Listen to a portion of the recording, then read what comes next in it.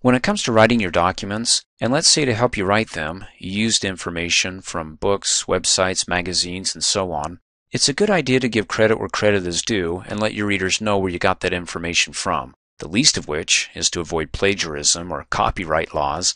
So, you can go through your document and flag those quotes or bits of information with what are called citations. And a citation is a short reference to those sources. For example, if I have this paragraph here that I got from a book, I'd place my cursor at the end of it, and in parentheses, I type in the author's last name and page number that I got it from. It's pretty simple, but that doesn't give me much information like how many authors have the same last name and what book is it referring to. Basically, with the citation, we're flagging, and if we want to know more about what we flag, at the end of the document, we'll have what's called a bibliography page, which will explain in detail all these different flags or citations that we place throughout our entire document. So you can look at the author's last name and page number as a citation, and then go to the end of the document, the bibliography page, and cross-reference the author's last name with the page number, and there we'll have the actual name of the book and any other pertinent information that we want to put into the bibliography page about what we just cited, like this paragraph if we copied it from a book. Now basically you have two choices.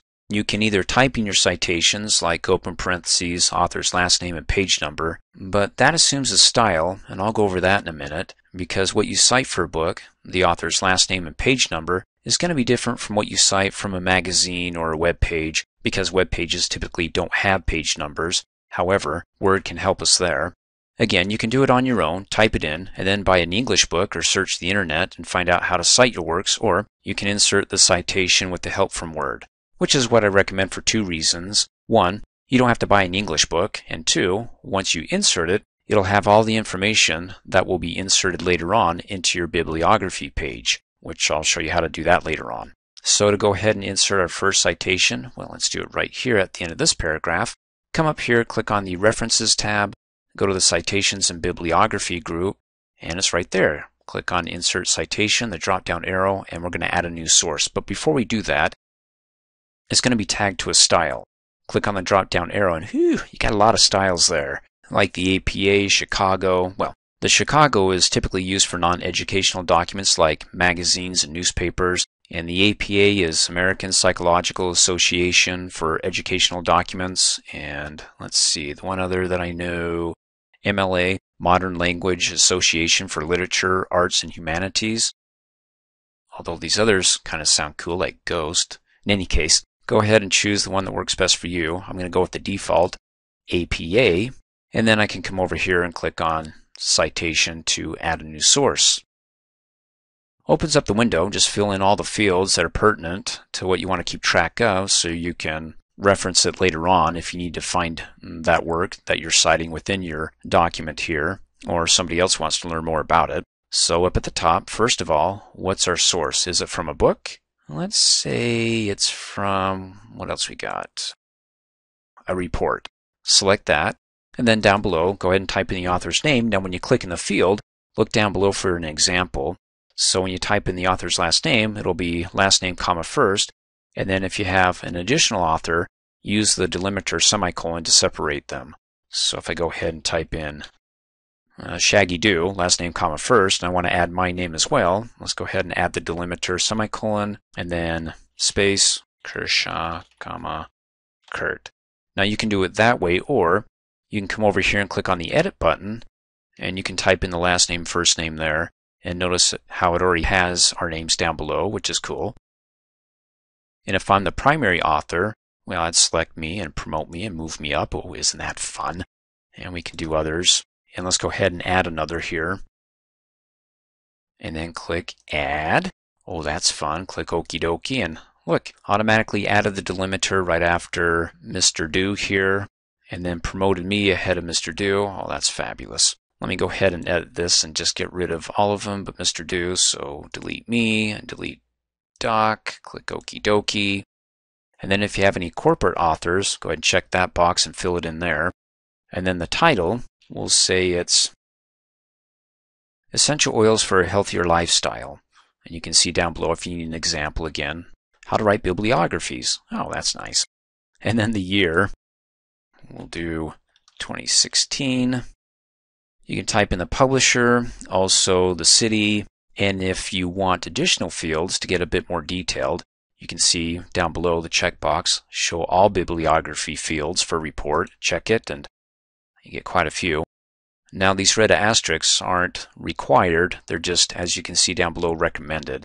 So if you want to type in the publisher, the city, and well, whatever else is there, I'm going to scroll back up, keep it as is, uncheck it, simplify it, and then down below here's the citation tag. It's got the author's last name and the year. So when I go ahead and click Okie dokie, there's the author's last name and the year. Oh, that's fun. And then when you click inside of it, you get the dynamic box because that way, if there's any changes need to be made to it, you can go ahead and to edit it, you need to click on the drop down arrow and to edit the source. And then make your changes and click Okie dokie. And we'll learn about that more detail in the next training video, but there's a heads up if you can't wait to watch it and you want to edit it because you made a mistake. There you go. Let's go ahead and scroll down and do another one, like let's do it for lavender. And click at the end of it. And well, let me hit the spacebar, give it some space, then come back up here to the citation bibliography group and let's click on insert citation. And hey looky there Mr. Do's available to be cited again. So we don't have to type in the same source over again. He's already there. Click on it and he's added. Let's go ahead and hit undo because I don't want to cite the same source. Let's go ahead and click on Insert Citation and add a new source. And this time, the source is going to be a website. Let's see how that works. Okay, the author, same thing as you can see down below in the example. When you click inside the field, last name, comma, first, and you can see it's already got the first couple letters, my last name, for the tag name, and then corporate author if you have any. The name of the web page, well, it's going to be Lavender. And then the name of the website, well, it's going to be doTERRA. And the year, let's do 2010. The month, and you can see down below examples like, do I abbreviate it like JAN? I mean, you don't have to go with what you see down below. Again, it's just an example, but I'll go with the recommendation. Let's say it's February. And then the day, let's say it's the 22nd. And then for the URL, you can go ahead and type it in. But if it's one of those URLs that's super long and it's got a bunch of characters and that whole mess, well, go right to the website. Let's go ahead and open it up. Come up here, there's my website. Let's go to www.mydoterra.com forward slash Dreamforce, then hit enter. This is going to be a great example. And then over to the right, oh, there's my name. That's my fancy store.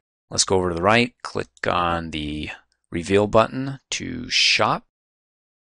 And then what language, what country, well, leave it as is, click start shopping. And we want essential oils to look at. We want single oils, not blends, so single. I know I'm flying through this. And then we'll scroll down to find our lavender. Right there. Okay, great. Click on it. So I can go right to the web page, come up here, it selects the entire URL, Control C to copy, and then we can go ahead and close out of all tabs. Come back in here and Control V in Victor to paste it, and whew, look at that. It's quite the lengthy URL, but a lot easier than me trying to memorize that or type it in.